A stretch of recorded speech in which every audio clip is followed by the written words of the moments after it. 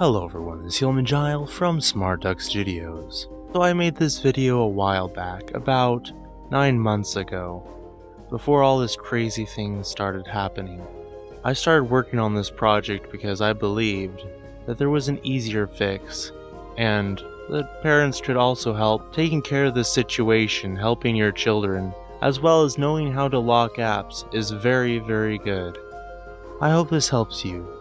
Thank you guys for watching this short video.